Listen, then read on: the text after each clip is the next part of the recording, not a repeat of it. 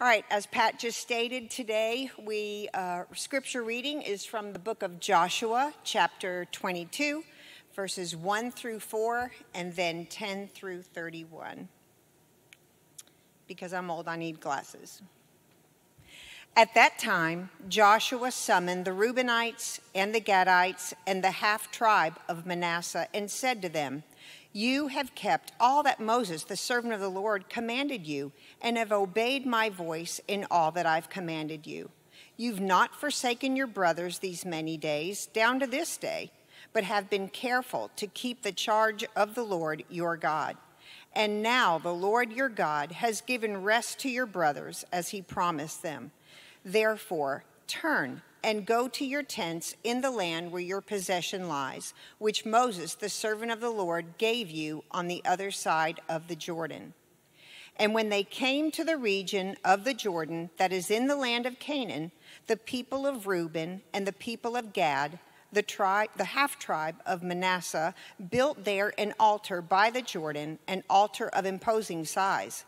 And the people of Israel heard it and they said, Behold, the people of Reuben and the people of Gad and the half tribe of Manasseh have built the altar at the frontier of the land of Canaan, in the region about the Jordan, on the side that belongs to the people of Israel. And when the people of Israel heard of it, the whole assembly of the people of Israel gathered at Shiloh to make war against them. And then the people of Israel sent to the people of Reuben and the people of Gad and the half tribe of Manasseh in the land of Gilead Phinehas, the son of Eleazar the priest, and with him ten chiefs, one from each of the tribal families of Israel, every one of them the head of a family among the clans of Israel. And they came to the people of Reuben, the people of Gad, the half tribe of Manasseh in the land of Gilead, and they said to them, Thus says the whole congregation of the Lord. What is this breach of faith that you've committed against the God of Israel in turning away this day from following the Lord by building yourselves an altar this day in rebellion against the Lord? Have we not had enough of the sin at Peor, from which even yet we have not cleansed ourselves, and for which there came a plague upon the congregation of the Lord. That you too must turn away this day from following the Lord. And if you too rebel against the Lord today, then tomorrow he will be angry with the whole congregation of Israel. But now, if the land of your possession is unclean, pass over into the Lord's land where the Lord's tabernacle stands, and take for yourselves a possession among us. Only do not rebel against the Lord or make as rebels by building for yourselves an altar other than the altar of the Lord our God. Did not Achan, the son of Zerah, break faith in the matter of the devoted things? And wrath fell upon all the congregation of Israel? And he did not perish alone for his iniquity. Then the people of Reuben, the people of Gad, and the half tribe of Manasseh said in answer to the heads of the families of Israel, The mighty one, God the Lord, the mighty one, God the Lord, he knows, and let Israel itself know. If it was in rebellion or in breach of faith against the Lord, do not spare us today for building an altar to turn away from following the Lord or if we did so to burnt offerings or grain offerings or peace offerings on it, may the Lord Himself take vengeance. No, but we did it from fear that in time to come your children might say to our children, What have you to do with the Lord, the God of Israel? For the Lord has made the Jordan a boundary between us and you, you people of Reuben and people of Gad. You have no portion in the Lord so your children might make our children cease to worship the Lord.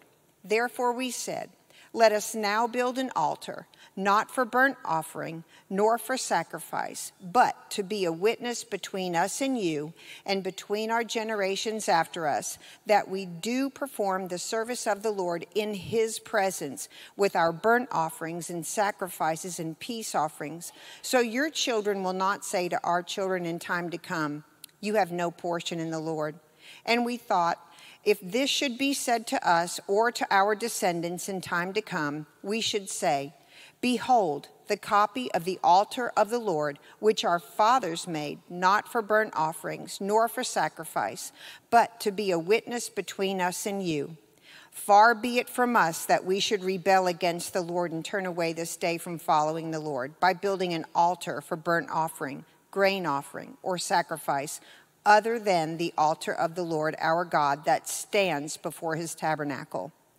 When Phinehas the priest and the chiefs of the congregation, the heads of the families of Israel who were with him, heard the words that the people of Reuben and the people of Gad and the people of Manasseh spoke, it was good in their eyes. And Phinehas, the son of Eleazar the priest, said to the people of Reuben and the people of Gad and the people of Manasseh, Today, we know that the Lord is in our midst because you have not committed this breach of faith against the Lord.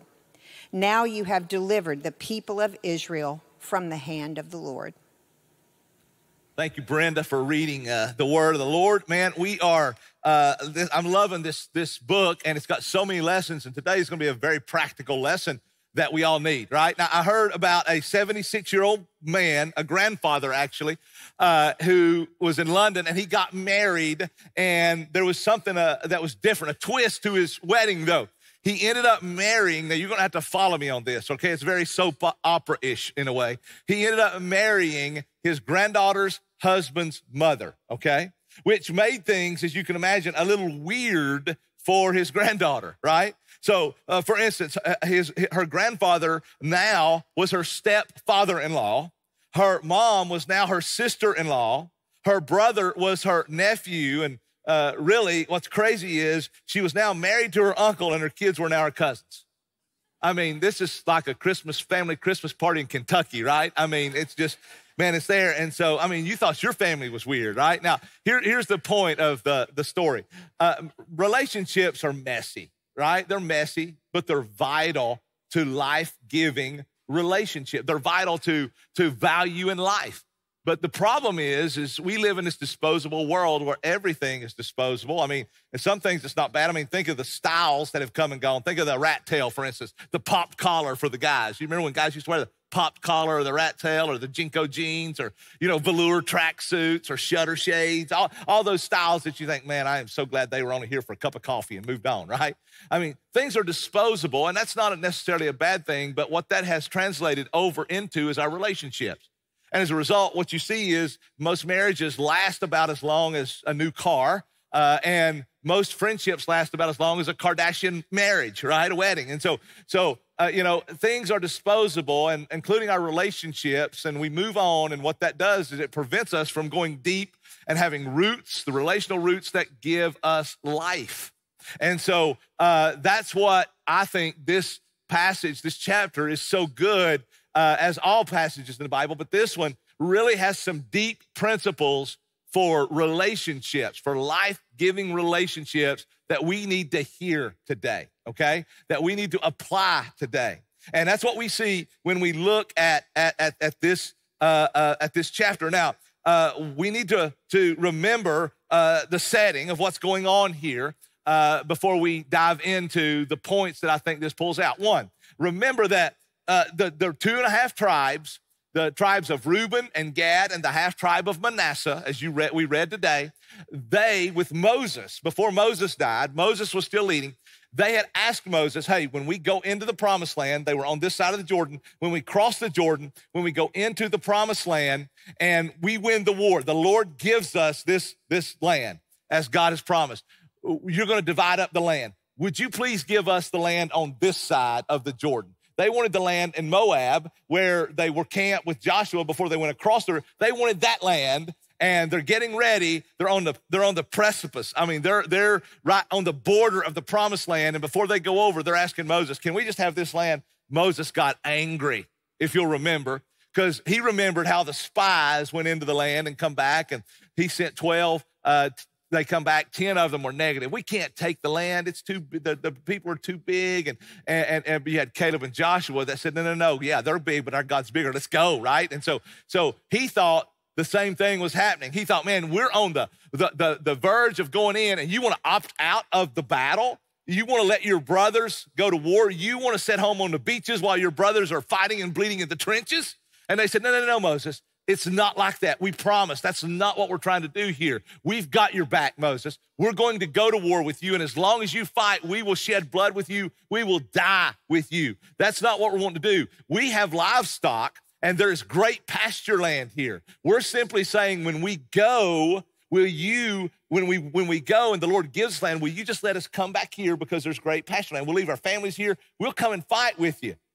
And Moses said, Okay, I mean, if you'll do that, the land is yours. But if you don't, God help you, right? And so uh, we know that that they went across. Then Moses died. Joshua took over. God brings them to Moab. They go across the river. Uh, you know, God holds it back, and they man they start with Jericho, and and and God uh, over seven years, seven year battle. They fight for seven years. God gives them the land the land is now theirs. They, uh, they, they don't just, they're not just living in the land, they occupy the land. And, and Moses, or Joshua, I'm sorry, before he divides it up, uh, here, here's, here's what he says, or after, as he's dividing it up, he, he, he, he lets the, the, the, the two and a half tribes go back to their home, and, and, and which is across the Jordan. That's why they're called the Transjordan tribes, okay? Now, here's where we learn some relational principles that I want to challenge you with I want to throw out there today that I think we see in this that I think we all need in our lives.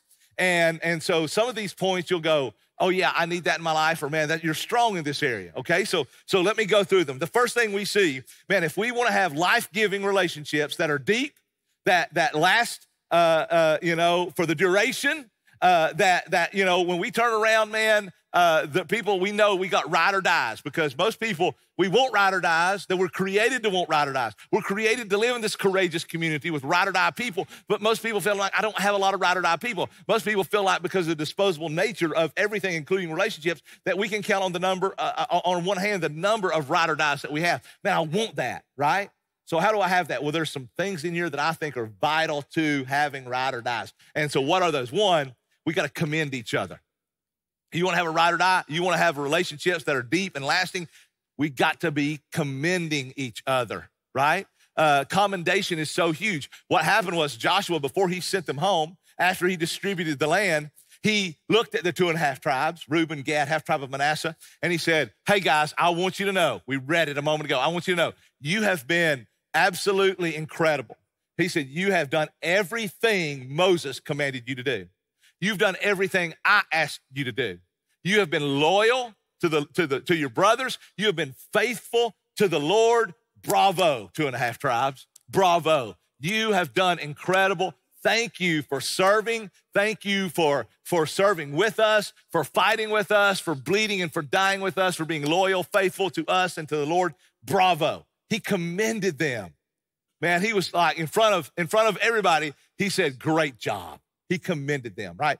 Listen, if we want to have long lasting relationships, commendation is just a necessity in that, right? And it's so huge for our life. It's huge for our psyche. It's huge for uh, uh, our attitude. It's huge for everything. I mean, for instance, let me give you some examples, right? About uh, just preaching in my life. Last week, man, Mother's Day was last week, and last week I'm, I'm out and the Mother's Day line for the photo booth. People were in line, and I was standing there close to the line, and, and there was a, a black family in line, and, and they looked at me and they said, uh, Pastor, let, let me just tell you, if you're preaching one day and a shoe comes flying up on the stage, that's not a bad thing. And I said, Huh? And they said, man, in a black, I grew up in a black church. In a black church, man, it wasn't anything. If the preacher's preaching and people's like agreeing and with him, man, they gonna throw a shoe on the stage. And I said, well, number one, that's good to know. That's really thank you for letting me know. And number two, man, throw them both, okay? I mean, don't just throw one, but man, sling them both up there. I mean, listen, that was so encouraging. They were commending me. It was just so encouraging. I, I, I, I'll never forget that. It was just so encouraging, right? I mean, you know, and, and think about encouragement in preaching. I, I, you know, just from what I know, you know, when I'm preaching or anyone's preaching and they hear somebody say, Amen, preach it. You know, I know that's right. When I, you know, you know, man, people are agreeing with me. I mean, you're picking up what I'm laying down, man. That gets me wound up, right? I mean, that's encouraging. It's like, yeah, let's go, right? But I mean, think of the opposite, man. If I'm preaching and somebody said, well, "That's stupid," which is not out of the question, I know, because I say some pretty stupid things sometimes. It's not out of the question. But if I heard that's stupid, I mean, man, I wouldn't get wound up. I mean, I, would wind down and want to end this thing early so I can go home and crawl into a fetal position and suck my thumb, right? I mean, don't let that get any good ideas. Let's get him out of here early today. That's, that's stupid. That's the importance. You know about it, man. When you're playing sports, if you're on the field or on the court, and and and man, and people's cheering your name, you know, versus heckling you. I mean, getting you out of your game, right? That's the importance of encouragement. And and, and you know, I, I stand out every week and, and try to and try to uh, Greek guests, man. I love to Greek guests and man, people in the church that need to say, you know, man, tell me what's going on there. I love to stand out there and Greek guests. And man, most of the time, I'm just telling you, man, when I'm standing out there, it's 99%. People are commending and people are encouraging. And that's awesome, right? Man, great job, preacher. I mean, I'm glad you preach the word. I'm glad you preach strong. I'm glad you preach cultural relative stuff and yada, yada. yada. But every now and then there's a critic, right? There's a critic. And Sometimes it's deserved, right? But every now and then there's a critic. There's a truth to most criticism, but every now and then there's a critic. But and, and what happens is, is that's what you remember, right? You remember that, and, and, and so I, I, like, for instance, let, let, let, me give you one from years past because I don't want to give a, a, a, a you know a fresh one. Uh, but from from years past, you know, I remember standing out there twenty some years ago, and people would come by, man, great sermon, preacher, great sermon, that was awesome. And then you know, every now and then you'd have somebody come out and say, preacher, I just, I man, that's a good song. I just don't know why you wear them old jeans. I think a preacher ought to wear a suit and a tie. Uh, why do you think that? Well, it says in the Bible we ought to wear our best. Oh, really? That's right up there with God helps those who helps themselves. Where, where, where, where's that in the Bible, right? Well, I mean, we ought to give our best. I said, so hold on a minute. You think the Bible says you ought to wear your best in church? Yep. And, and you've got a 30 year old polyester leisure suit that smells like mothballs on. Did you not know that that teenager's jeans that's got holes in them cost more than everything you've got on, including your shoes? Huh? I'm not bitter. PTSD. But uh, man, the importance of encouragement is so important. Do you know, it takes 10 words of encouragement to overcome every negative word that we hear. Did you know that? And so that's important to know because you see, here's what some people do. And I remember in my life thinking, sometimes you think, well, my daddy, he's always negative, or my coach, or my teachers. And sometimes that's fair and true because they literally are. Some people are just overcritical. You know who they are. Some, you know who you are if you're overcritical. Uh, I mean, they know who they are. But sometimes it's not fair because uh, it's just what we remember because man it's hard to get those out even if deserved or not. It's hard to get those out of our mind. And so so because that's the power of words. Let me, let me read you some some scripture from proverbs that that uh, just literally tell us the importance of words. There is no one whose rash words proverbs 12 18 there is one i'm sorry there is one whose rash words are like sword thrusts right? The words are powerful some people's words are like a sword thrust into your uh, uh, soul, but the tongue of the wise brings healing. Proverbs 16 24, gracious words are like a honeycomb, sweetness to the soul and healthy to the body. Right? Proverbs uh, uh, 18 21, death and life are in the power of the tongue, and those who love it will eat its fruits. This tells us the power of words we know that our words have power, and the Bible is very clear that our tongue and the power of our words is, is powerful. And, you know, we, we have to think about our kids. We have to continually correct our kids. I mean, if you want your kids to live, you're going to continually correct them, right? I mean, first off, I want you to live. Stop eating, you know, rat food, right? I mean, I, I want you to live. Don't get under the cabinet. I mean, so so uh, second off, I, I don't want you to just survive. I want you to thrive. And we know that kids have to be corrected. They have to be they have to be corrected, and they ha- we have to get on them. And so we continually do that necessarily. Okay. So what we have to do is we have to find intentionally look for ways to, to find them doing something right and praise them for it, right? I mean, hey, if it's, you know, you'll probably never look at your kid and say, son, thank you for cleaning up your room this morning. Said no parent ever, probably, right? But you know, when your kid says, Thank you, mom, hey, son, thank you for saying thank you. Th- thank you for saying thank you. Thank you for taking the dog out. Thank you for whatever. I look for ways to say thank you. That was great. So that you can intentionally praise them because you know within the next 10 minutes you're going to say, hey, stop doing that. Don't do that. Don't you can't cut your sister's hair with a butcher knife, son. You're going to have to do that. So look for ways intentionally to to praise Him. Think about, you know, your, your, your marriage. When you dated your wife, your husband, when y'all were dating, you probably, I mean, you were looking. You wanted to impress. You always were looking for ways to say, oh, that looks great. That's beautiful. I mean, thank you for doing it. You were wonderful. You looked for ways to do that, right? And man, then, you know, you, you look for ways to tell your wife, oh, I love that dress on you. I love those pants, all this kind of stuff. Then you get married and she says, hey, does these pants look good on me? And you're like, I don't know what to do. You're faced with the, the, the dilemma all men face lie or be honest. How do I get out of this one? My point is, you, you get married and all of a sudden you're like, you begin to find out and focus on what everybody does wrong right? You focus on this is what they do that I don't like. And that's, that's where it can go. So you have to intentionally begin to, how can I praise my spouse? Thank you for your loyalty. Thank you for your faithfulness. Thank you for, you know, what, what can you say to your spouse? You need to find something positive uh, every day. Thank you for this. Thank you for that to say to your spouse, to encourage, commend each other. If you want to go deep in relationships, we, we need to to commend each other, right? Think of the difference it'd make in your life if people, somebody told you once a day, if your boss told you once a day, if your spouse told you once a day, if your dad told you once a day, just at least one thing that you did right that day. At least one thing, the difference it'd make. Think about the difference it'd make in our church if all of us said we're going to outdo each other in commendation man, I, and, and, now I'm not, I'm not talking about inauthentic commendation. I'm not talking about, oh, I want to say something. No, I mean, really getting to know somebody and saying, man, thank you for serving in our children. Thank you for, for, for serving in this area of our church. Thank you for doing this. Think of the difference in making our church in your life if people done that to you. We want to have life giving relationships. Commendation is so huge. And if you commend people genuinely, you, man, you will have friends, okay? Commendation. Here, here's what we see in Joshua for, for relationships within the body, the covenant community, as well as interpersonal relationship. Commend each other. They commended each other. The second thing we see is the balance to that, right? They, they confronted each other. They, this is where we don't like this, right? We don't like to be confronted and we don't like to confront each other. But if we don't, I want you to understand our relationships will never go deep if all we do is, if we remain in a sappy world, uh, our relationships will remain in a shallow world, in the shallow end of the pool. Uh, you want to go deep with people, you must be willing to confront and be willing to be confronted.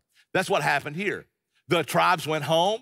Joshua sent them home. He commended them. He sent them home. And man, they go, they begin their careers. Everything's going great with them. Man, their careers are going great. They're they're, they're, they got livestock, man. They're, they're farmers and they got livestock, and that's going great. Their land is good. They're back home with their families. And uh, I mean, man, they got their families. They got their, their, their, their, they took home a bunch of wealth. It says all the, the bounty and the booty from, from de- defeating all the cities as they went home rich. So they've got money, they've got land, they've got livestock, they've got their families. Things are going great with them after seven years of war and I mean bleeding and, and fighting, if they're at peace, things are great.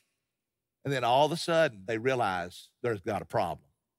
With all of our money and with all of our land and with all of our cattle or, and, and livestock and, and, and our families, we got a problem. We're isolated. We're isolated from our brothers. See, they lived on the other side. That's why they're called the Transjordan tribes. They lived on the other side of the Jordan, and you couldn't even get to the other uh, tribes much of the year because of the flood stage. They were isolated. And they knew sort of like an ember, you know, that you take out of the fire and you put it over here on the hearth. Before long, that ember it goes from glowing red because it's with its brothers, other brother wood in the fire. It, it, it goes dim and it goes out, right? And so, so they were isolated, and and and the rest of the tribes on the other side of the Jordan, they began to wonder: Will that will the will the Gadites, the Reubenites, and the half tribe of Manasseh will they be loyal? Will, will, they be loyal to the rest of Israel? They began to wonder, hey, we're isolated. Will our kids even remember that we're a part of, of, of, of uh, in solidarity with all of Israel? Will they even remember that? Will they remember our how, how we're brothers in arms and how, how connected we are and how committed? Will they remember that? And, and, and the people on the other side of the river were like, man, I mean, I mean they, they, if, they will, uh, we, they, they thought the people on the other side of the river will, will They'll forget that we're part of them and they'll cut us off. They'll say, man, you're on that side. All Israel's on this side and, and it'll be bad. they, they, they began to think about how isolated they were. And so they, they come up with a solution. They said, We're isolated, and isolation's never good, folks. I promise. Emotional isolation, physical isolation, it's never good. And so they they they they come up with a solution. They said, We're gonna build a big, huge altar, and we're gonna put it uh, on the river. And remember, earlier they had built, when they went across the Jordan, when God had parted the Jordan, held it back, they got stones out of the, the river, set them up on the other side. So they built a huge altar on their side of the Jordan River to show solidarity with their brothers. We want our kids to be able to remember, and we want to do this to show solidarity. Well, the other tribes on the other side, because they're isolated, they saw or heard about this altar and they got angry. They got so angry, they were going to go to war and wipe the two and a half tribes off the face of the earth. And you're like, whoa, are you kidding me? That's an overreaction. Why, why would they do that?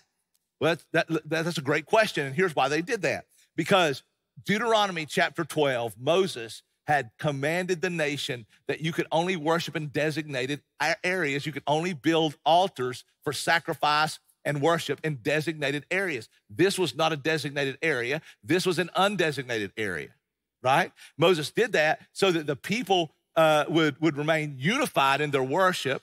You can imagine if just people just go out and build altars wherever, go out and do your thing, then they could build an altar and they could syncretize different religions into that. It would their, their fidelity to the Lord was in question, and so this was for the fidelity of the Lord and the unity of the community.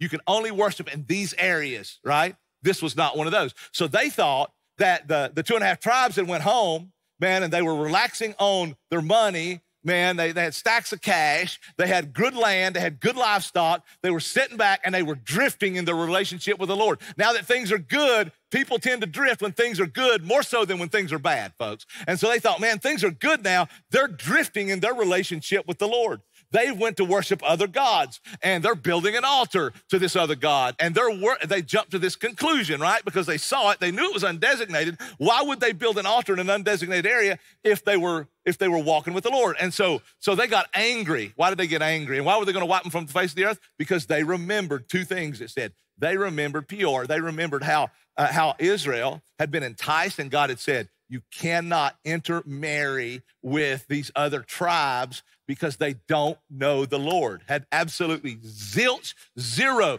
to do with ethnicity or anything else. It was they worship uh, Baal, they worship uh, uh, they worship all these other gods. And if you intermarry with them, they're going to pull you down. So you marry Christians in our world today. You marry people that follow God. And, and, and so they fell in love with the Midianite women. They were enticed with the Moabite women. And, and so they fell into uh, relationships with them. And what did it do? Exactly what God said. It began to pull them away from the relationship with God, and 20, 25,000 people died as a result. They also remembered Achan. Remember Achan? God told them in Jericho, when you sack the city, you take zero. You take the gold and the silver for the treasury of the Lord, precious metals for the treasury of the Lord, but you take zero. Achan goes in and he sees some, some gold and silver. It's enticing. Who's going to know? It's just a little bit. It's just going to help me and my family. And a little bit's not going to matter. And he disobeys the Lord and he takes it.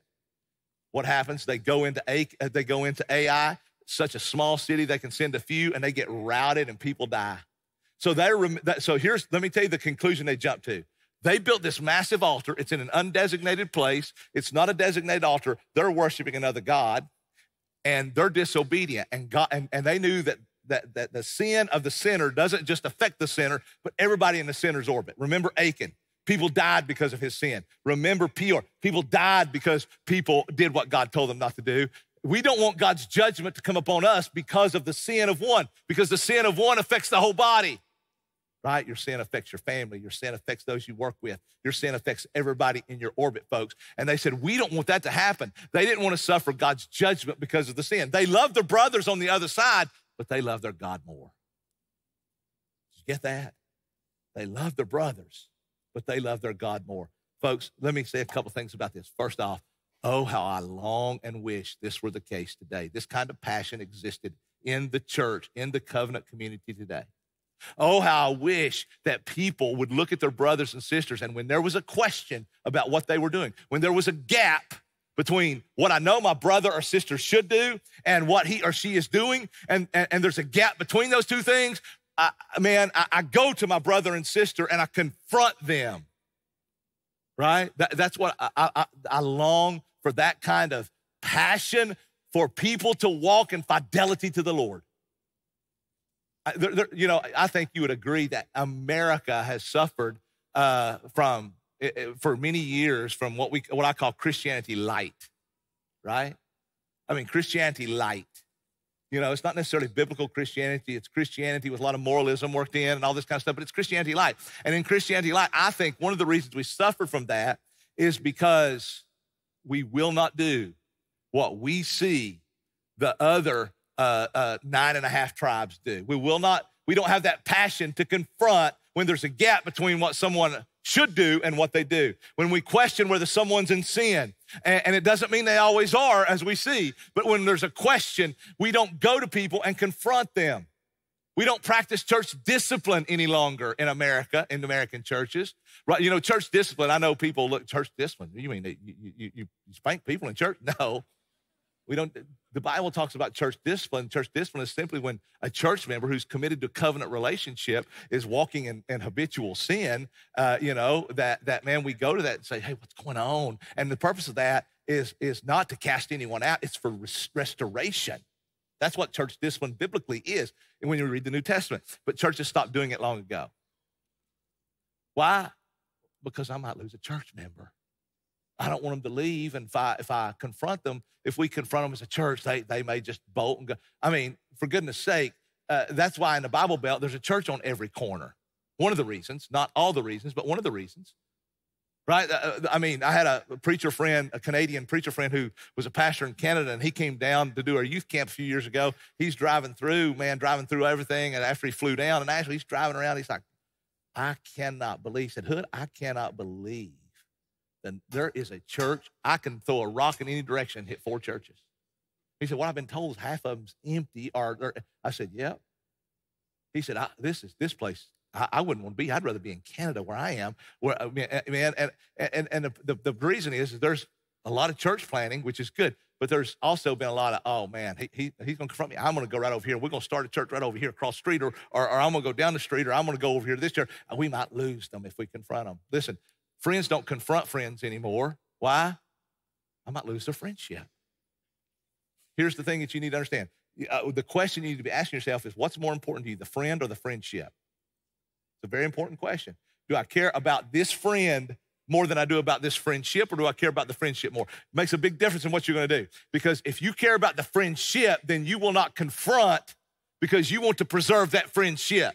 If you care about the friend more, you will confront because your main concern is preserving the friend. You get that? And so, so that's not what we see. And, and I believe it's uh, contributed to Christianity light in, in, our world because, well, man, we let our friends do things that, that they shouldn't be doing. And we, we don't say, hey, now when I'm talking about confronting, I'm not talking about going in with both cannons firing and both guns blazing. I'm talking about going in in love and saying, hey, you got this going on, or I see this can you explain this to me? What's going on? You know, the scripture says this, you know, uh, and so that's what we should do. Now, the, here's the second thing we see in this. Now, the, the nine and a half tribes on the other side, they jumped to a conclusion. It was a logical conclusion, right? There was a gap between what the, the other two and a half people should do, which is remain faithful to the Lord and only build altars where there was a designated place. They didn't do that. So there was a gap between what they should do and what they did that created a gap so we're going to fill in that gap with something. And so the other nine and a half tribes filled in that gap with, they jumped to the conclusion they are walking away from the Lord. It was logical. Two plus two always equals four, right? It does. Two plus two will never equal five. Two plus two will never equal three. Two plus two will always equal four. Mathematical laws are two plus two will always equal four. You can't change it. So they had a two and they had a two and then they had a four. Okay? It was logical. Two plus two always equals four. But the problem is, two is not always two. Sometimes that two might be a seven and we didn't see the bottom line on that two. We don't see everything and we don't know everything. So when we, we think two plus two equals four, we know two plus two equals four, but we need to make sure there's a two there. How do you do that? You confront someone, you ask questions before you make accusations. That's what Jesus told us to do, right? I mean, Matthew chapter 18, uh, it's one of the, the, the great passages for, for this. Matthew 18, 15 says, If your brother, this is the words of Jesus, by the way, all the words, God's word, this is the words Jesus spoke when he was on, on the planet. If your brother sins against you, go and tell him his fault. Notice what he didn't say. This is the modern contemporary language translation. If your brother sins against you, man, you blaze him on Twitter and Instagram. Man, you talk about him on Facebook. You make sure everybody knows, right? That's the modern. Like, but here's what Jesus said if your brother sins against you, go to him and tell him his fault between you and him alone. That's what you go to that person when there's a gap. When there's a question, you go to that person.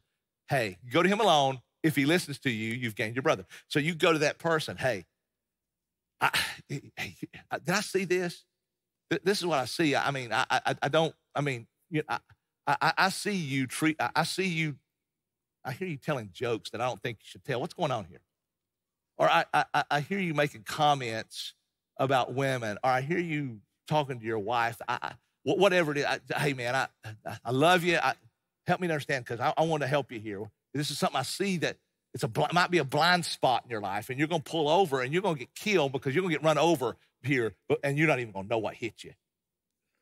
So you go to someone. If they sin against you, or if they sin, you go to someone, right? They jump to a conclusion. Hey, these people are walking away from the Lord. They're worshiping other gods. We're going to wipe, they condemn them. We're going to wipe them from the face of the earth.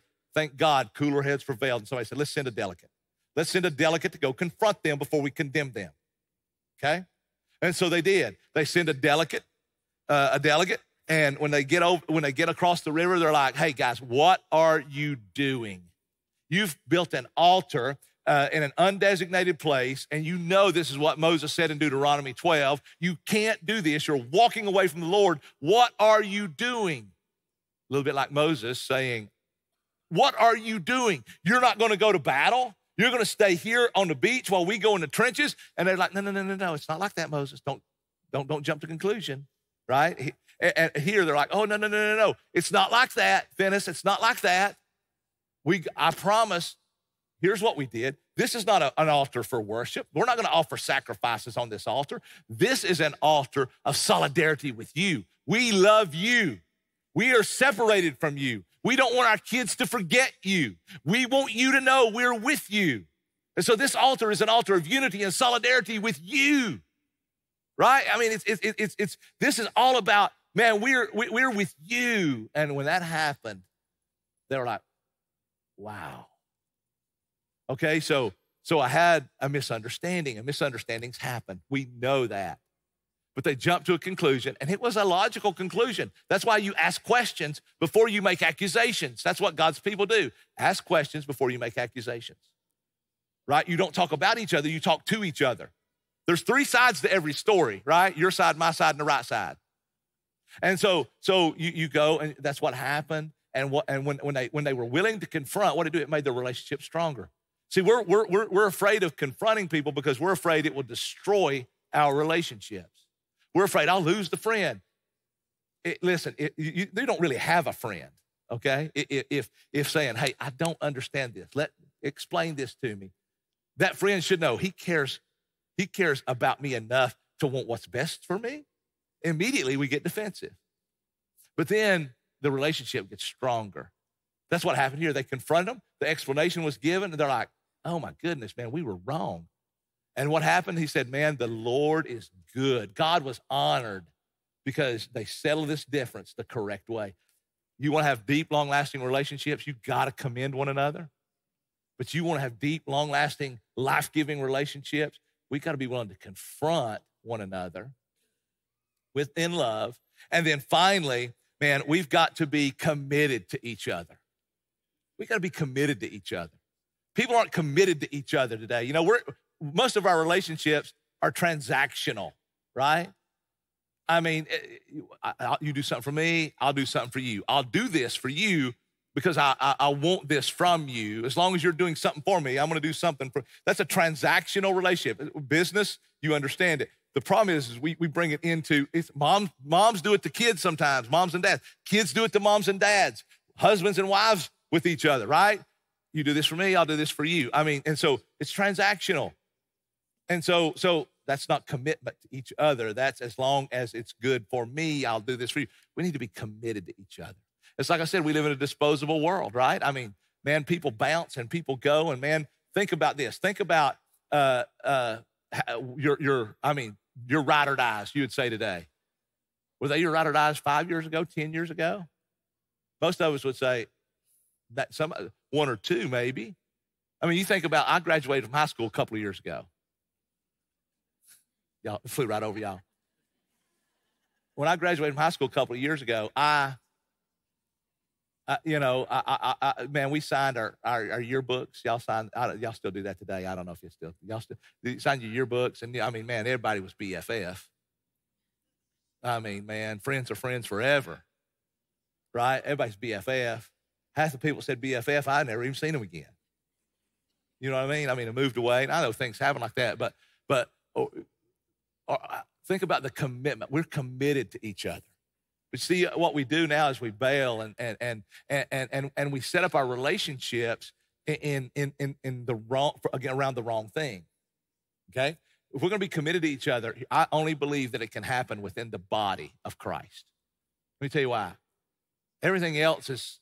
I mean, sometimes we build our relationships around sports. My kids are playing ball. My kids are playing travel ball. My kids are this, and so I'm I'm at the park every weekend with these people and I'm, I'm, practicing with these people, you know, my kids. So I see them a lot. And man, so that's, I, man, these are my friends. But your kid's not going to play ball next year or the year after that. That's going to fade. Those are going to fall. Man, it's around work. You're going to have a new job next year or the year after that. That's going to fade. That's going to fall. It's around passion. That's going to fade. That's going to fall. The only thing that lasts is the church, is, is, is, is the people of God. And that's what that's the deepest relationships that you can possibly have is when they are anchored around Christ. It's the deepest relationships you can have. Are you committed to people in the community of Christ? Sadly, today people bounce around in that, right? Are you committed? Here's what I know. I, I know that that I've been married for 20, uh, not 28 years. I've been here for 28 years. I've been married for 30 some years. I don't even, yeah. Thank you. But uh, I've been married for 30 some years. Now, let me make sure you understand. I could have bailed a long time ago. I was tempted to bail a long time ago. I know Amy was tempted to bail a long time ago. It would have been easy for her to, it would have been really easy for her to bail at any time along this way. Because I know me. There's temptations along the way. We could have bailed. There was always something that the grass always looked greener on the other side when, you know, I mean, uh, in, in, in this time and that time. You, you know, if you've been married, you know exactly what I'm talking about.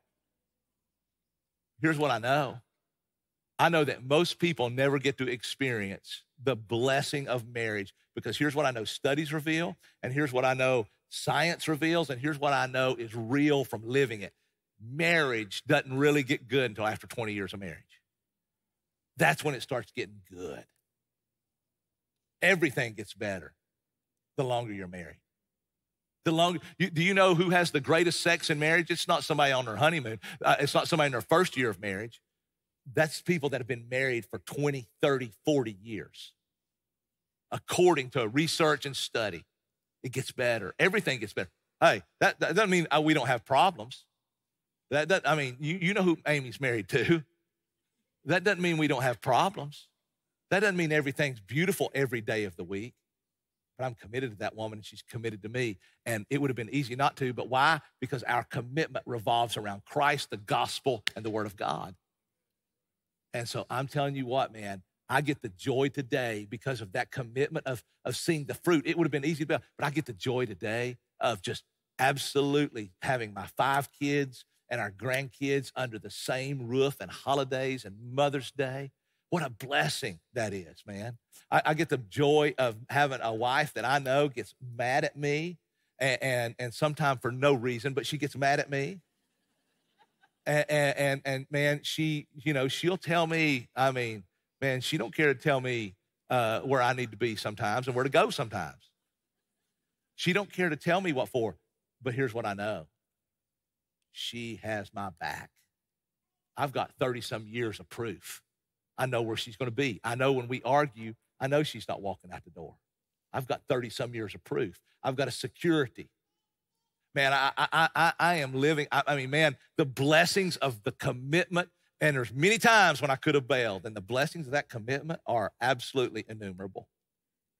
I've been here for 28 years. 28 years. I look around at some of you, and you were here when I came. I've been here 28 years, and most of you never thought I'd have been here that long. I never thought I'd have been here that long. I, I mean, to be quite honest with you, there were many times I wanted to bail. There were many times I wanted to get out of Dodge. There's been some hard times along that way. You can't lead without there being hard times. Uh, just like a marriage, there's been many times, and let me be, be, quite honest with you, there are many times where I had the opportunity to go. There are many times where I had the opportunity to go make more money. The grass was greener, right? And man, I had some issues over here, and the grass was greener, and it would have been easy to bail. But man, let me make sure you understand. I'm committed. There's about three reasons why I would ever leave my church. There's only three reasons that I know that I would ever leave my church. And I think they should be everybody. But let me make sure you understand. One, if I die, okay? I mean, I'm going to move out of the country at that point. Right? I'm, I'm going to, now y'all can stuff me and put me up here like this right here. I'd love that, right? But I won't be here. That's one reason. I'm moving, okay? The second reason is if the Lord legitimately called me, if I felt the Lord telling me, Pat, I need, I've got a new assignment for you, and I knew that the Lord was telling me that, then we would all know it. And listen, I, I, am going to do what the Lord tells me to do. I don't ever want that to happen. I, I hope the Lord leaves me here till I retire. But if the Lord called me, and you know what I would do if that happened? Well, you wouldn't just show up to church one Sunday and wonder, where's Pat? I mean, where's Pat? Well, I don't know. I ain't seen him in a month now. Wonder where he went. Oh, I saw on Facebook he is pastoring over here in Georgia now. He didn't even tell us. That's so sad. I, no, no, no. That would be a process, right? That would be something. I, it would know the Lord's calling me, and, and that would have been explained, which is what should happen with anyone whoever is called somewhere. And there's a third. So one is I die, or, which would be moving, right? Uh, you know, uh, uh, uh, if I die, or or you know, would move away for for. Uh, uh, and the only reason I would move away is if the two, the Lord legitimately called me, and He would never call me away from here, from running from it. He would always call me to something. Okay? Man, if I'm leaving running from something, it's hard for me to decipher if the Lord's calling me or if I'm running. But if the Lord's calling me to something, then man, it's going to be obvious. That's the second thing. And the third thing is if the pastor ever started preaching heresy, I know him pretty good. I promise you that ain't going to happen. Okay? So, so that is that's the three reasons that I could think of that I would ever go bail. I'm committed. Now, here's the thing sometimes you people are hard to manage. You know that. Sometimes I'm hard to manage. You definitely know that. Sometimes on Monday morning, I go home, I come in the office, and I'm like, man, I, anybody, any of my pastor friends know any jobs? Sometimes I go in on Monday morning, and I'm like, this is the sweetest place on earth. Sometimes I go home and I'm like, anybody got any wives I can marry? And sometimes I'm like, this is the sweetest woman on earth. That's relationships, right? But I'm committed. Let me tell you, as a result of being committed, let, let me make sure you understand what I get the blessing of enjoying. I get the blessing of looking up today and the three people who are singing on stage, Zion, Jordan, and Anna, grew up in our church. And I get to see that. I get to see the fruits of the ministry. I get to see kids baptized, and I get to baptize kids whom I baptized their mom and dad when they were kids. Man, you talking about a blessing? That is absolutely amazing. I, I, I, get to stand up here on Mother's Day, and I have a, te- a senior reading scripture in his cap and gown, And, I, and his mom, that later that day, sends me a picture of when he was dedicated, and I'm holding him as a baby when he was dedicated. And now he's reading scripture beside of me as he graduates. I'm thinking, man, thank you, Lord. What blessing for letting me see the fruit of years of ministry. I get to look out and I get to see some of you guys that when times are bad, when times have, when we've gone through bad times, some of you guys in here, man, you literally had my back. And not only did you have my back, you got in front of me. It's always easy for people to say, I got you back, preacher. And I'm like, great. The airs are coming from the front. Will you get somebody get in front of me too? You know? And I got the privilege of knowing who I can trust and knowing have I've got relationships that I've got ride or die that I know that man's integrity. And some of those same and, and those same people, let me make sure you understand, those same people that's had my back for all those years, sometimes they've had to get in my face. Sometimes they've had to get in my face. Man, that makes relationships sweet. That makes relationships lasting. Those are lasting ingredients. So here, here's what I, I want to ask you, folks. Are you, man, as, as we get, as, as uh, Zion and Jordan and Anna Grace and our band come back up, here, here's what I want to ask you today. I'm, I'm not going to make a huge plea to, man, come down to the altar and pray and all that stuff. And uh, you can always welcome to do that. Here's what I want to simply ask you Who do you need to commend today? Who do you need to to, to commend today. I, I, know we need to commend our family, our kids, our husband, our wife, our parents. Who do you need to commend? Who do you need to catch and say, hey, thank you for what is it? I don't know. Thank you for this. Who do you need to come in? Maybe you need to write somebody a note. Maybe you need to send somebody an email. Maybe you need to send somebody a text. Maybe you need to call somebody. Maybe you need to have a face-to-face meeting. Maybe you need to get up in the middle of the serve or the, while we're singing and go across to somebody and say, "Man, I just want you to know I am thankful for your faithful friendship. I am thankful I can trust you. I'm thankful you got my back. You might want to do that during worship. That's fine. Praise the Lord. God's honored that. That's response. Who do you need to come in today? The second thing I will ask you is who do you need to confront today? Is there anybody you need to confront? Do you have any friends that, man, what they should be doing and what they do is not matching up and there's a gap? It might be two plus two equals four, and you might be saving your friend a world of trouble, or it might be a seven instead of a two, and it really doesn't add up, and they'll tell you, and you'll go, okay, great. And then that friend will know either way, uh, they love me enough to confront me. They love me enough to want what's best for me. Then your relation, who do you need to confront? Hey, and when I ask that question, just understand you may be the one that someone else needs to confront. Okay. And so when they do that, don't get so defensive that you don't listen. If, if you need to be confronted, the greatest thing to do is confess and repent. And, and if you don't, explain the situation and thank someone for loving you enough to confront you. And the second thing, the third thing I would ask you is are you committed? Are you committed to the covenant community? Are you committed to people in your church? Are you committed? I, you can be committed to a lot of people, but let me tell you something the, the, the, the you want to have deep, long lasting relationships, it's got to be in the covenant community. Are you committed? And we got D groups, we've got life groups. You call us, you go out to the booth, we'll help you plug in and find one, I promise. Okay, we got service groups, we got multiple ways for you to plug in.